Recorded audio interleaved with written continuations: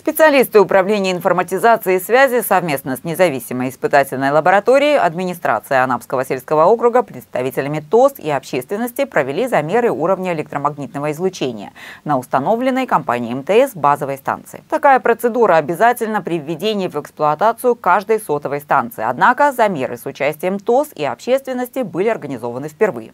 Об этом попросили местные жители на сходе граждан, где поднимались вопросы безопасности вышки, устанавливаемой для размещения оборудования сотовой связи. Замеры провели в непосредственной близости к жилым домам и объектам инфраструктуры.